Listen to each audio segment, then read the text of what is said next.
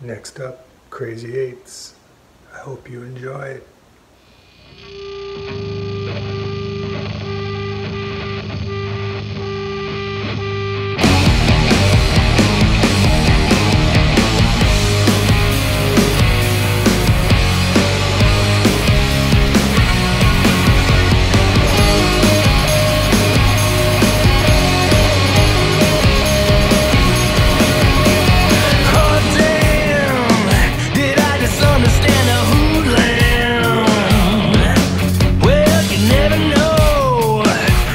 the joke's on me.